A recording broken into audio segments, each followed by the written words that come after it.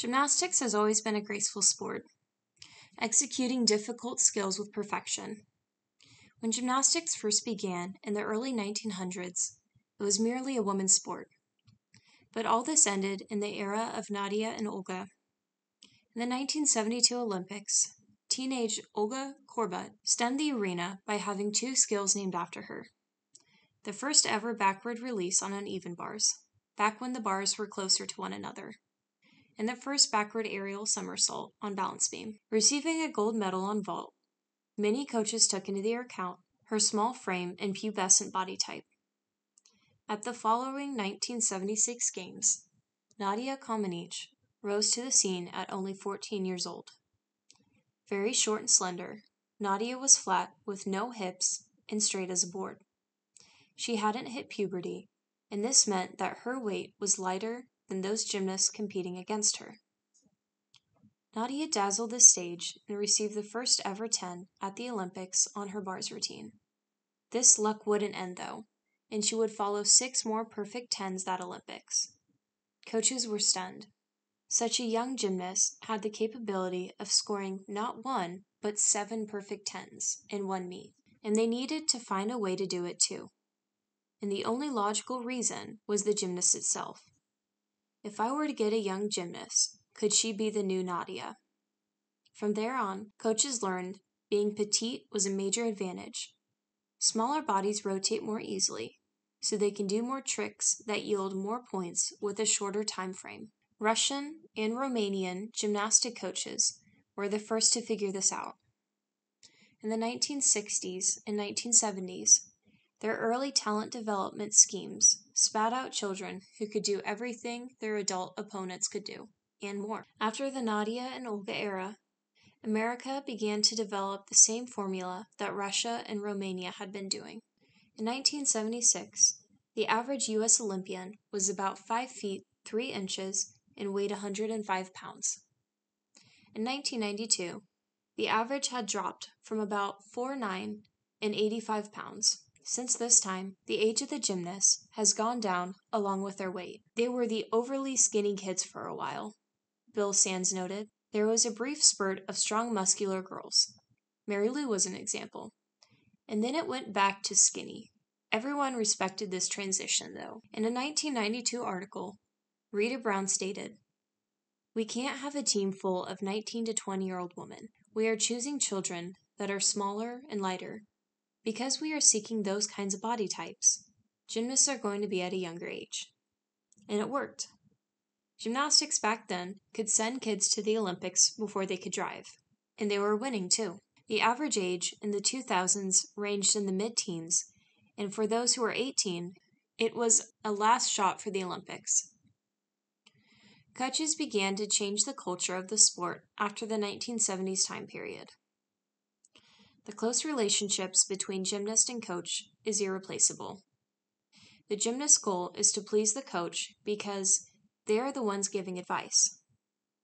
If the coach says to point the toe, then they point the toe. If the coach says to tighten up, then they will. And if the coach, who is strict and demanding, asks to cut calories to win, then they will do so. To ensure a competitive edge, they may instruct girls to lose weight, teach them how to diet, tell them what they can and cannot eat. Routine weigh ins become the norm. This thought process to please the coach makes the gymnast become a perfectionist. The coach says to lose weight. If you lose weight, you will be perfectly able to compete. But if a girl is highly perfectionistic and achievement oriented, she is a good candidate for an eating disorder. Most women embrace puberty because it develops breasts, hips, and body confidence. But to a gymnast, it could mean the end of the career. It could mean reducing release moves because of the height or lowering passes because one doesn't twist as fast with an additional 5 pounds. These are what the coaches tell them. And what a coach says counts. It becomes a goal to please the coach to be the perfect size, the perfect weight. And that goal can lead to the unhealthy obsession of focusing on the body and less on the sport. The gymnast becomes so fixated because, in their mind, the only way she can improve her performance is through what she eats and how often she eats it. There are two main types of eating disorders that gymnasts face, which is anorexia nervosa or bulimia nervosa. Anorexia nervosa is categorized by severely cutting calories. In this disorder, the gymnast will lose 15% or more of their body weight in a means to lose weight for a desired outcome. Normally, this disorder is more noticeable physically since the gymnast begins to lose a substantial amount of weight and shows symptoms of feeling dizzy or weak. Bulimia is a binge purge syndrome in which huge quantities of food, sometimes totaling as much as 20,000 calories in a day, are consumed in short periods of time and then expelled through self induced vomiting, excessive exercise, the use of diuretics or laxatives, or some combination of those methods. Typically, this disorder isn't as noticeable because the gymnast keeps at the same body weight or loses a small amount of weight that isn't life threatening. Typically, this high pressure from the culture is engraved in their heads. Lose weight or do everything you can to prevent yourself from gaining weight. Some girls just can't handle the high pressure that this culture entails on their little shoulders. Some girls will turn to binging and purging to cope with the emotional turmoil. And others will just cut back on food entirely to satisfy their inner demons that they face.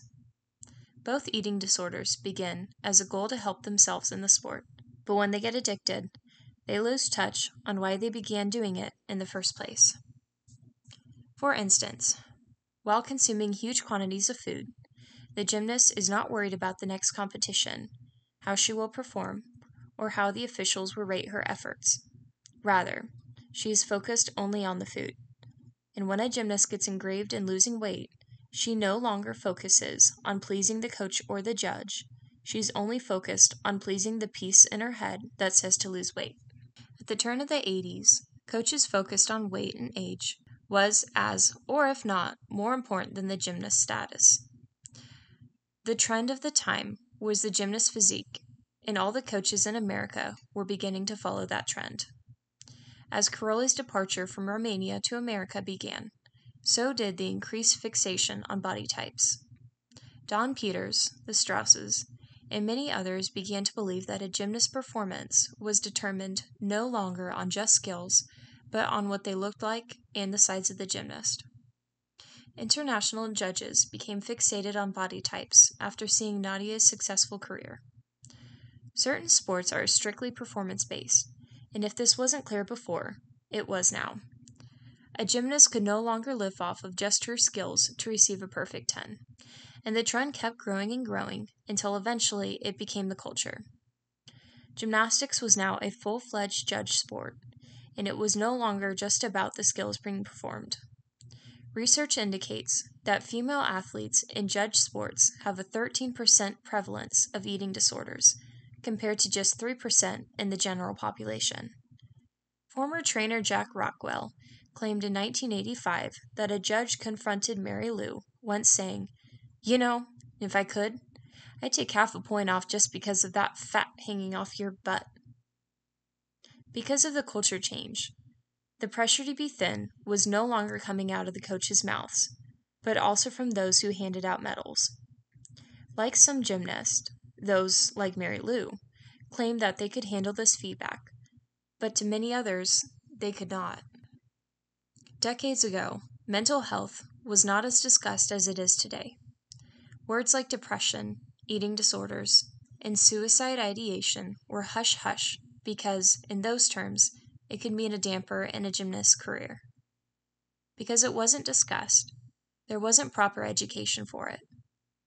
Coaches didn't know that words could hurt a child, and those who did swept it under the rug. Mental health wasn't just something that was discussed, because children couldn't surely have those emotions at such a young age. In a 1992 article following the Olympics, the public challenged the organization, wondering if children were being abused because of their numerous injuries and rumors of poor eating. The organization was outraged. The U.S. Gymnastics Federation fired back from numerous angry letters. None of the gymnasts needed psychiatric or medical counseling after the Olympics, but people believed otherwise after numerous gymnasts had resorted to severe eating disorders. In 2021, the Association for Anorexia Nervosa and Associated Disorders reported that 18% of females in the U.S. suffer from eating disorders. And those who are in pressure sports at the elite level are more likely to develop an eating disorder. Why is this? One of the reasons leads back to the culture.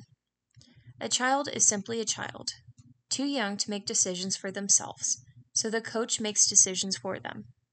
Their choreography, skill set, and hours of practice. A child simply cannot think of their physical capability. At home, parents control the child's health and leisure time. They limit the child to public outings unless it's related to gymnastics. They can't make decisions about who to play with, what to watch, or where to go because it's strictly gymnastics. And at school, which rarely is at public school, that time is decided by the teacher on what to learn. And generally, they are isolated by their parents teaching them. Because they are children unable to make decisions for themselves, they long for some sense of control.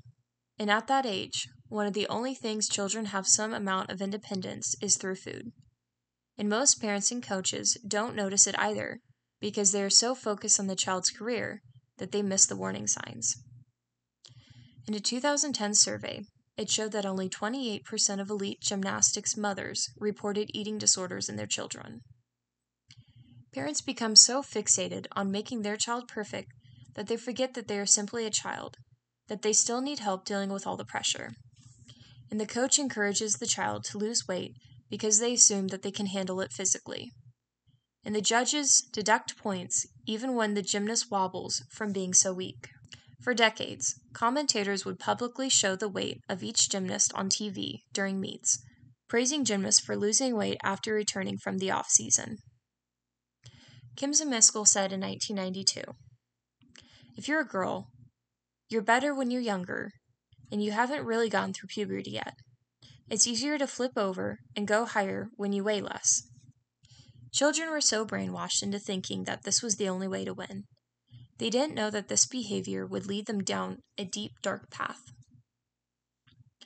In 1968, qualifying at the youngest age on the team, 15 year old Cathy Rigby would make her first international debut. That same year, she would become world champion. Nobody knew that her success would lead to 12 years of bulimia. She would experience cardiac arrest twice. Cardiac arrest is when the heart stops beating, leading to a lack of blood flow into the body. In cardiac arrest anorexia, the heart gradually becomes smaller and weaker as the eating disorder develops. As the heart becomes fragile, it becomes more difficult to circulate blood at a healthy rate. Eventually, in serious cases, the heart will eventually stop beating. Cathy Rigby, stating once that she learned to be bulimic long before the Karolyis arrived on the scene, now realized just how close she was to death, because although she was fortunate, not all were. Kathy Johnson, who entered the scene at a late age, was told by her coach, Vannie Edwards, that if she wanted to make the 1984 Olympics, that she must lose weight. It hurt something deep down inside me. He might as well just said, You're a horrible person. Once, trying to do a double backflip in practice, Johnson attempted the skill with such a weak body that she ended up barely make it around the first rotation and landing on her neck in the middle of the second flip. She was rushed to the hospital and placed in a neck brace. Mattie Larson said she used to consume so many laxatives that she was worried about having an accident in her leotard during practice. And some of these coaches encouraged it. They disregarded a gymnast's health. Consuming too many laxatives can lead to severe dehydration, mineral deficiencies, and electrolyte disturbances. Laxative abuse can lead to long term abuse, damaging nerves and muscles in the colon. Michelle Hilsey would also be rushed to the hospital because of her eating disorder when she had malfunctioning bowels. Even after leaving the elite scene in the late 1980s, she would continue to struggle with her eating disorder during her college career at Utah. It's not fun, she stated in a 1989 article. Her college coach stated, She was miserable every day when she came to practice, and that's not what this sport's about. In 1992, the American College of Sports Medicine first recognized that girls and women in sports are susceptible to three conditions that seem to work together for harm disordered eating, menstrual irregularity, and osteoporosis. In the 1992 NCAA survey, 51% of the women's gymnastic programs that responded reported eating disorders among team members, a far greater percentage than in any other sport. In a Sports Illustrated article, one anonymous world class gymnast admitted that while she was at UCLA, the entire team would binge and vomit together following meets. It was, she said, a social thing. 1996 Olympic alternate Theresa said that she admired a gymnast that ate a low fat diet. If parents and coaches could realize the lasting damages that words have on a child, then maybe they could stop themselves from doing it. But some coaches still encourage it, even after decades of people suffering. They rely solely on training a female child's body into a boy. Kelli Hill once said, Gymnasts are easier to train when they are younger because they have a boy body type. But coaches don't process that they are not boys, and without puberty, they can suffer serious complications. One of these is amenorrhea. When the body restricts calories, it restricts energy, disrupting the menstrual cycle. This results in amenorrhea, where many people, like Michelle, for instance, may skip periods even once they have left the puberty stage. Amenorrhea is also celebrated in gymnastics because it means that it's preventing a girl from becoming a woman. But amenorrhea slows down the production of estrogen, which is needed in young gymnasts. Low estrogen delays muscles from recovering, and low estrogen levels don't maintain proper bone structure. This is because the low estrogen increases bone absorption and decreases bone production. Low estrogen can also lead to low calcium levels because it lowers calcium absorption. At a 1996 seminar, a statistic concluded that female gymnasts take in 600 milligrams of calcium per day, less than half the average requirement of a 1,500 milligrams needed for the healthy development of bones. Bones are made of many different minerals, but primarily made of calcium salt. Both spongy and compact bone rely on calcium salt for healthy bones. Compact bones are responsible for storing calcium salt, but when the body does not have enough, it will begin to steal it from compact bone. Over time, this will gradually weaken the spongy and compact bone with its loss of calcium, resulting in premature osteoporosis. Osteoporosis, or porous bone, is when low bone mass is present and increased risk of fracture. Even a simple cough could break a rib depending on the severity. One doctor in a Sports Illustrated article stated from gymnasts I've seen x rays of an anorexic of four or five years and those of a 70 year old that are very similar. Anorexics have suffered stress fractures just from walking down the street. We have the bodies of old people, said Mattie Larson back in 2018. Many people concluded in the early 1990s that this could be a factor in the reason why so many gymnasts have so many fractures. But this isn't all. The health complications are endless. Anemia, or low hemoglobin in the blood, leads to low oxygen flow in the muscles. Not eating enough leads plummeting blood sugar levels, which damages the liver and can lead to seizures. Every time someone vomits, they throw up stomach acid. Stomach acid rots the teeth of the gymnast and, if they are sticking their fingers down their throats to induce vomiting, their fingernails. Their throats get swollen and lacerated. And the more the gymnasts vomit, the more risk they have of gastrointestinal bleeding, or risk damage to the vocal cords, or gum disease and consuming too many laxatives can lead to many problems like bowel nerve damage, cathartic colon syndrome, dehydration, and, in severe cases, kidney failure. If the kidney isn't functioning, this can lead to death. Gymnasts are at a great risk for eating disorders, but many of these problems aren't discussed and weren't discussed back then. It would take someone to go such a deep, dark road until the organization would be forced to deal with this problem. It had to make such a statement that to them, they would have to address the problem that had been hurting their gymnasts for decades. Or so the public thought. Christy Henrich, two time national team member, had her eyes set on nothing but making the 1988 Olympic team. A straight A student, her friends and family nicknamed her ET for extra tough. Christy was a perfectionist, always striving to please her family and friends. In 1988, while at a meet in Budapest, Al Fong and Christy were at a luncheon with an international judge, Greta Treiber. Treiber, who would be inducted into the Gymnastics Hall of Fame that same year and is still recognized by USAG, told Christy about the upcoming games. Alan Christy knew that Greta and many other people found the judge to be nice and reliable. She stated, when they asked for advice, that Christy did not have the right body fit for the Olympic team, comparing to many other gymnasts, like the Russians and Romanians, who were thin and pubescent. Christy wasn't as physically thin as they were because her body was built differently. Al Fong and Christy were devastated. At the time, weight was a huge contributor for those who would or wouldn't make the team.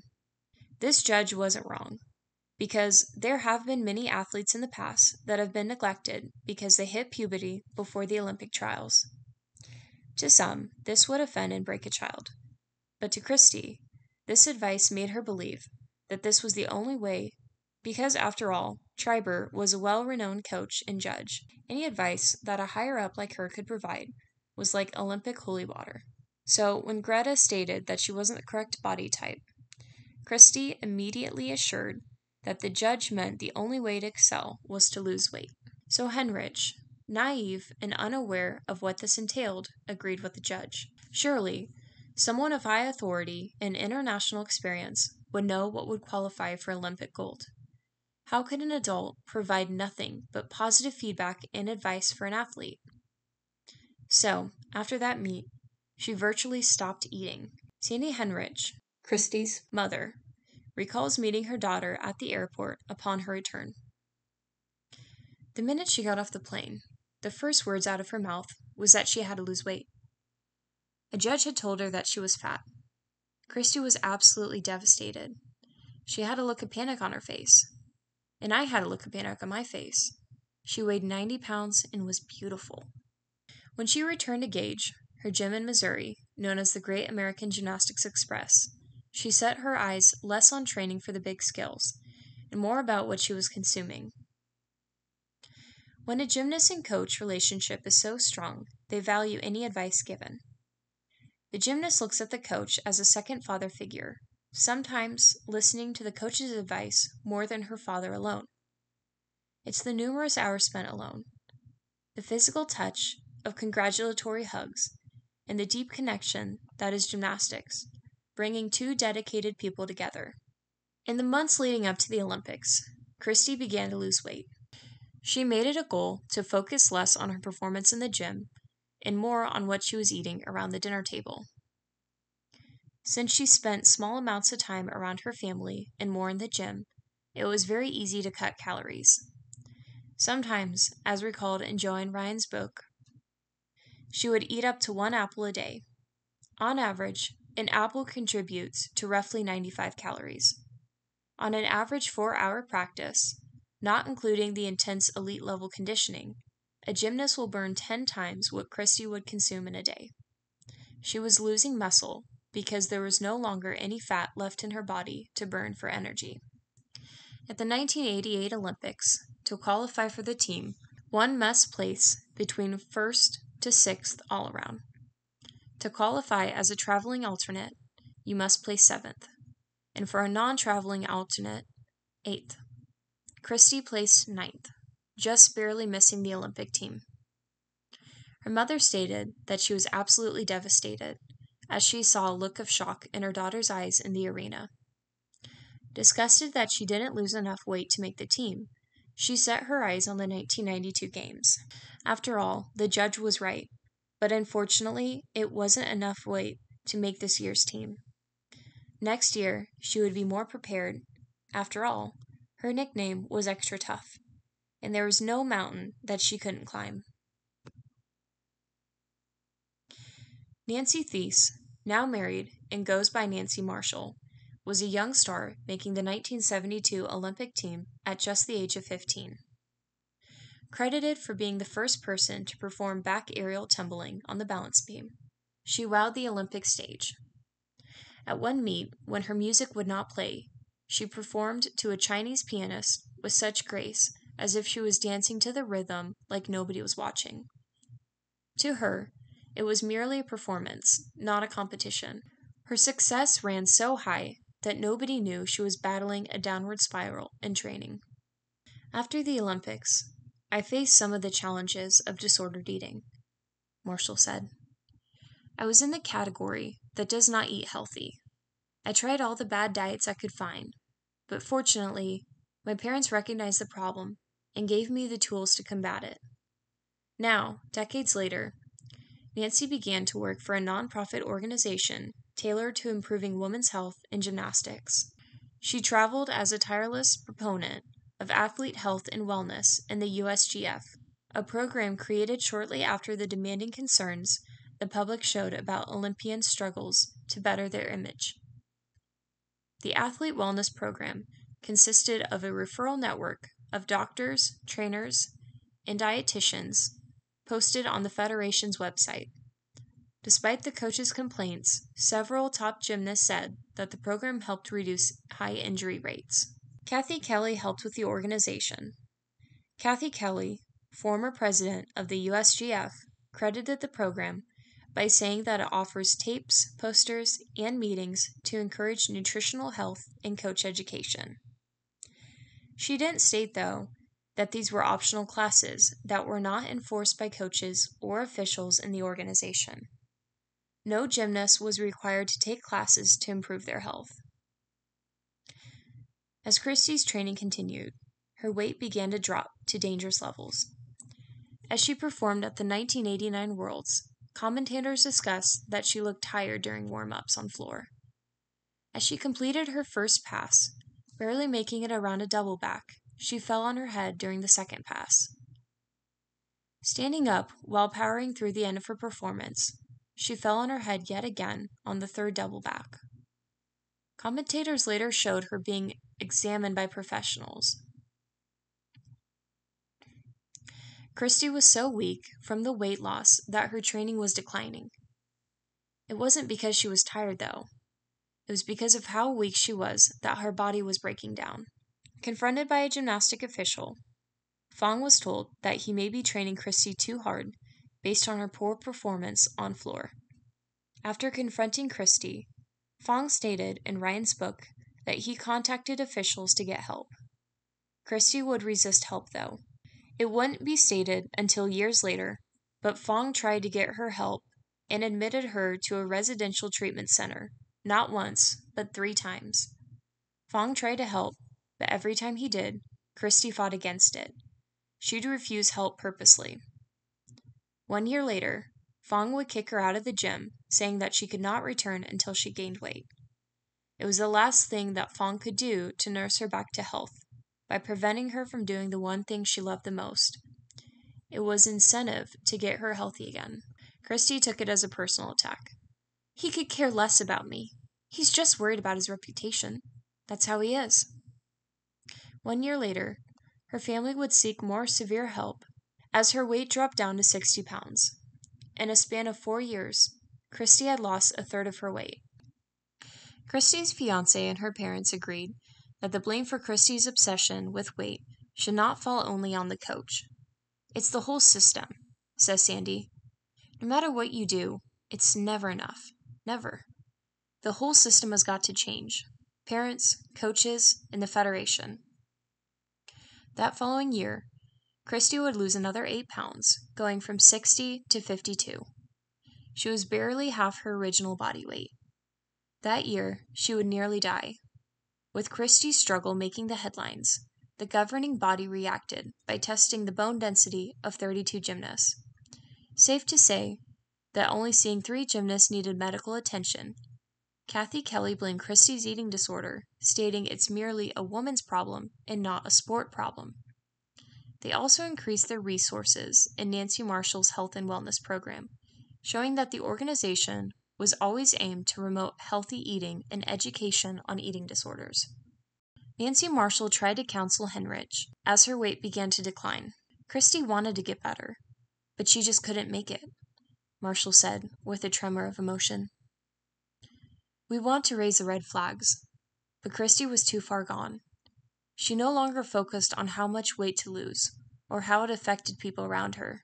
In her head, there wasn't a limit on how much weight was needed to be lost. She told a local news station in Missouri My life is a horrifying nightmare. It feels like there's a beast inside of me, like a monster. It feels evil. That same year, at a benefit to help cover Christy Henrich's eating recovery medical bills, Nancy Marshall spoke again. She stated, Christy's struggle will not be in vain.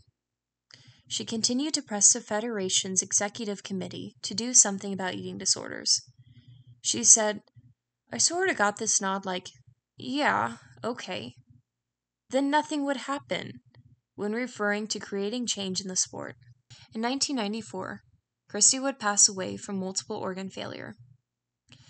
She was getting intensive support care, said Dr. David McKenzie, who treated Christy Henrich during the last week of her life. The final three days were spent in a coma, but a person passes to the point of no return. And then, no matter how aggressive the care is, it doesn't work. The major problem is a severe lack of fuel. The person becomes so malnourished that the liver doesn't work, the kidneys don't work, and neither do the muscles. The cells no longer function, he said. How could this happen?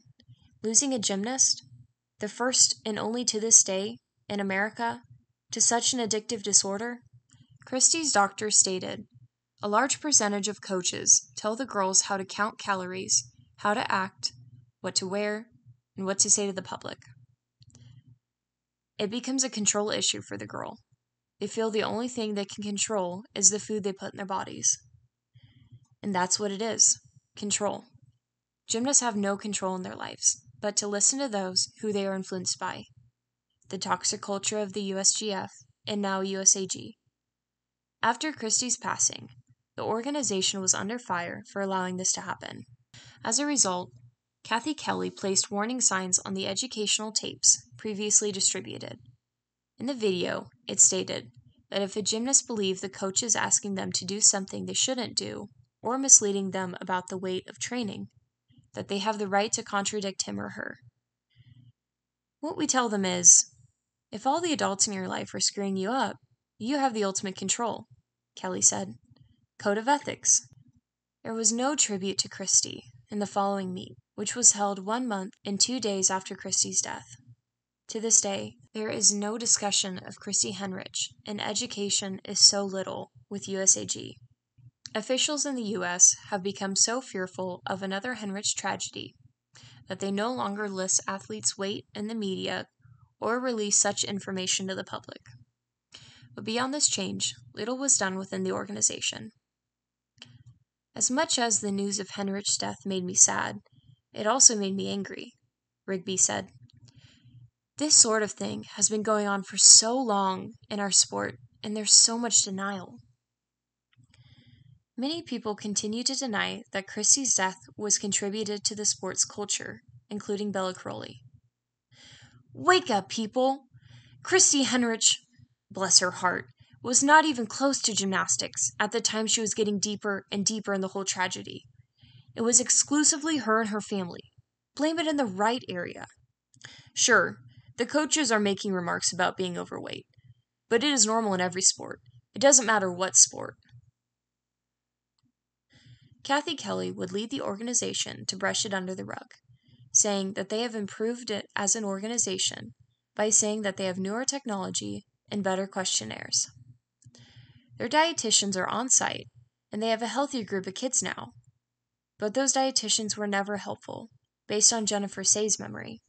Once at a camp, Jennifer discussed her diet history with a dietitian. This dietitian glared at Jennifer as she sat down in her office. Is your mother overweight? Your dad? What about your brother? If they aren't fat, what's wrong with you? The combined pressure of competition, constant dieting, a desire to win, and a fear of failure took their toll until it began receiving treatment and learned the value of good nutrition and relationships. Said Cathy Rigby. When your potassium levels get as low as mine, and vitamins and minerals are missing from your body, it causes your heart to beat irregularly. Everyone struggled with the deadly disorder, and obviously, some of the dietitians back then didn't make this any easier. Yet those who oversaw the organization refused to listen to those who spoke up. Even Nadia Comaneci, one of the star pupils even to this day, had lost nearly 40 pounds in under two months.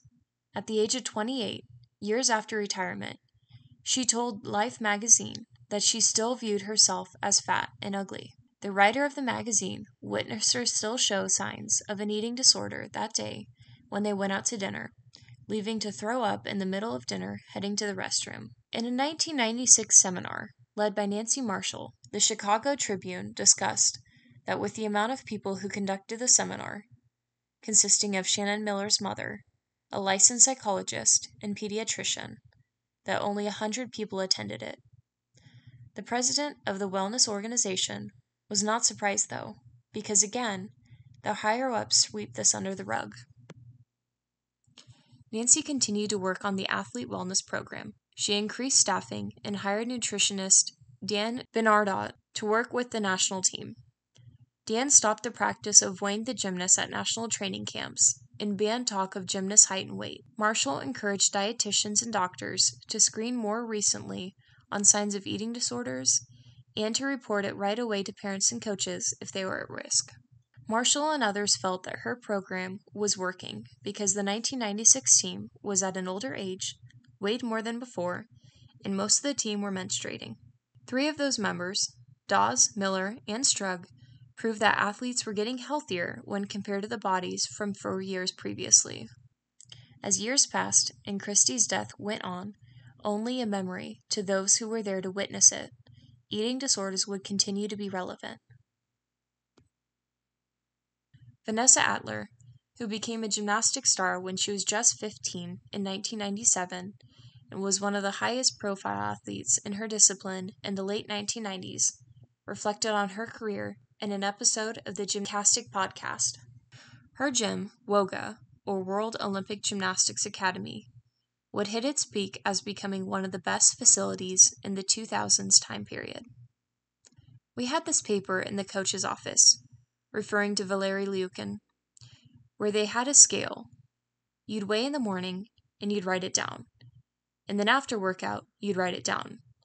You'd weigh at nighttime for the last workout and you'd write your weight down, which is so stupid because it just doesn't mean anything. Atler said when she went inside a hotel room and tried to address the judges and other officials inside during the 2000 Olympic trials, I thought they were going to help me when I asked for help, and basically, their answer was to stop eating. In the Out of Balance article, it states that U.S. gymnasts competing in the 2001 World Championships were provided so little food that family members smuggled snacks into the team hotel by stuffing them inside teddy bears. Kathy Kelly once criticized 1996 Olympian Dominique Moceanu for eating a slice of bread at a team national training camp in 2006.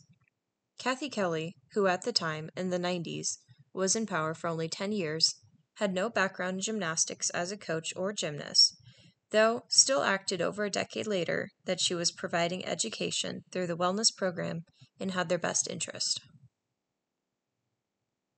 This wellness program was very contradictory to her true self.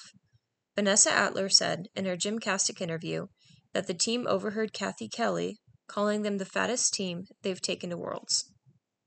Jamie Dantzscher also struggled with an eating disorder.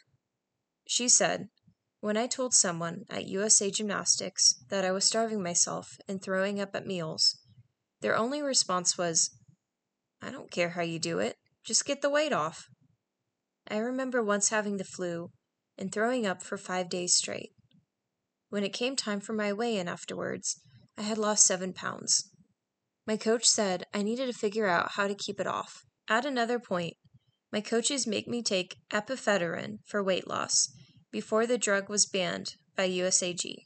Shawn Johnson, 2008 Olympic gymnast, would suffer from an eating disorder after given weight loss pills at the ranch through a medical doctor. Ashley Davis, former gymnast of Kurt Thomas, tried to report Kurt Thomas's behavior as early as 2009, reaching out to a local gymnastics judge who also taught the USAG safety course in Texas and shared everything. Like how she consumed only lemon water with cayenne pepper while training twice a day, or how Thomas gave her prescription diet pills and laxatives as a teenager, or how she ran in trash bag suits in the middle of oppressive Texas summers for two hours in between training sessions. She says the coach blamed her injury on her weight. This is what an extra five pounds looks like, she says, and that he called her washed up. When Valeri Liukin offered former gymnast Andrea Orris some advice about her weight when she was 12.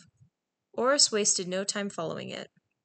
She eventually developed an eating disorder that at one point would require hospitalization with heart damage and doctor ordered bed rest, leading to body dysmorphia disorder that continues to impact her more than 20 years later.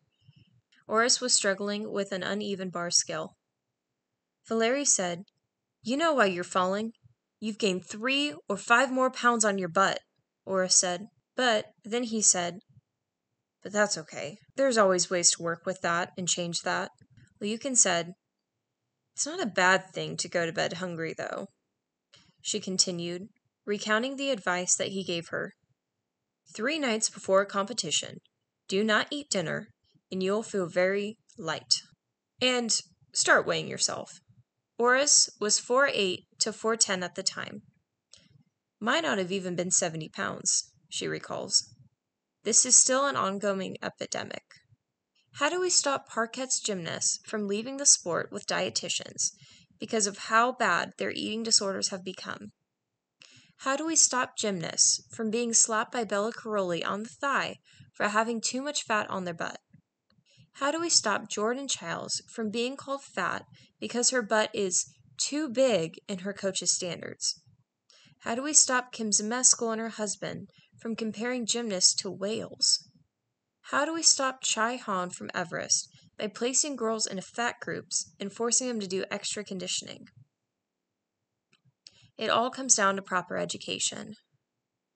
2012 Olympian McKayla Maroney once said in a gymnastic podcast that if she could change the environment, she would hire trained dietitians that focus on athletes' health better than the ones they have, along with not allowing gymnasts to eat next to coaches because gymnasts feel judged and they don't want to eat in front of them. And that's a start. But we need more. It all comes down to education. But what are the signs to look out for with education? Unfortunately, many coaches are not aware of the power that their comments have on their athletes. As a coach, you must refrain from body talk as a way of punishing or giving advice on how to train.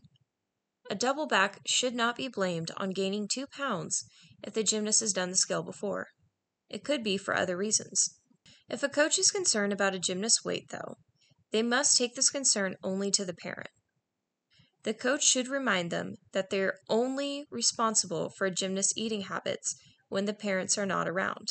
And when the gymnast eats, they should never restrict calories because of the number of calories that a gymnast needs to perform.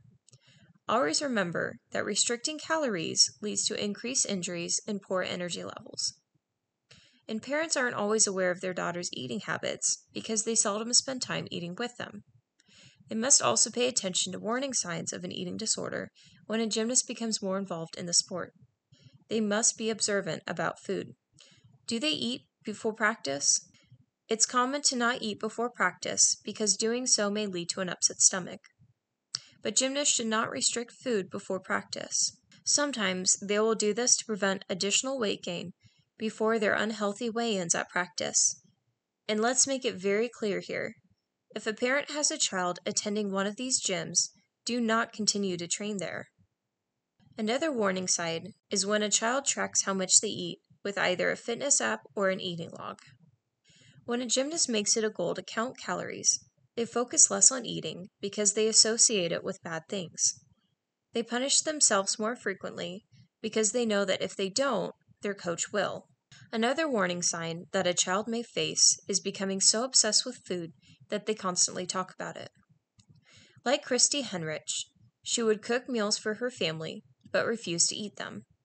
This trait, though all too common, shows that although the child is interested in food and enjoys finding recipes and pleasing others, that she is not going to eat it. They restrain themselves from eating large portions, only eating things that are light in calories or fat. They forbid foods that are processed, fried, or store bought. But let's make one thing very clear not all foods are bad foods. Foods that encourage performance recovery, like milk, is great, but eating bad food is okay. It won't just make you gain 5 pounds overnight, though. People tend to think that carbs are fattening, but the truth is, this is the main energy source for the body. Without it, people like Jennifer Sey lack enough energy to prevent falling on the beam and getting hurt. Fats aren't bad either. Fats absorb important vitamins and minerals. They support cell function, and yes, as shocking as it may sound, they also help provide energy.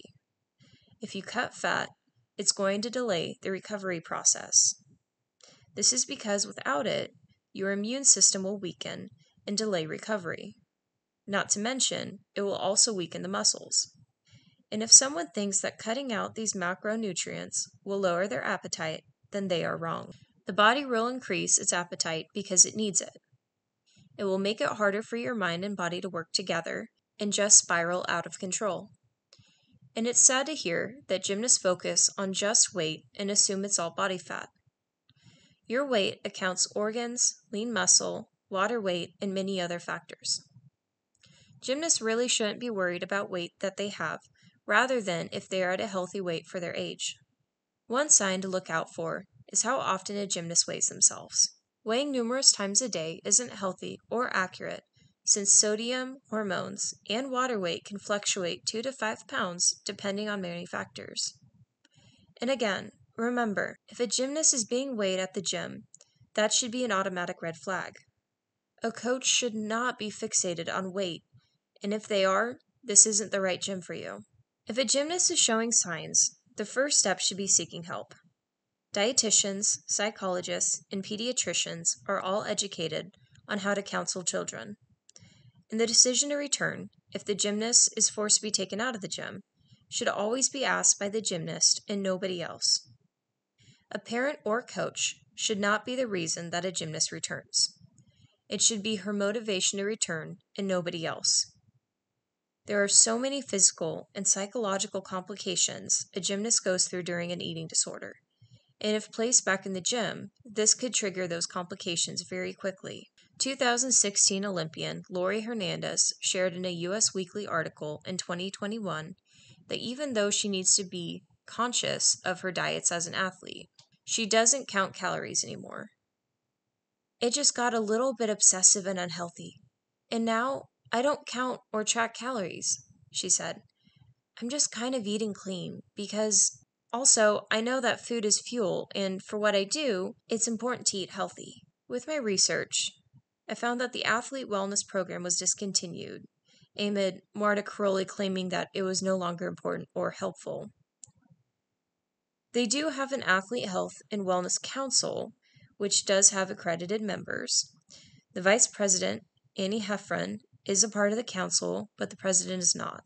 Nancy Marshall is not a part of the organization and is now a director for human resources in Oregon for a local college. Bill Sand hopes that because of the shift in women's body types, like Simone Biles' muscular frame, that it never resorts back to the tiny fragile bodies like Nastia Liukin. He stated that strong explosive athletes are, indeed, healthier, better able to withstand the rigors.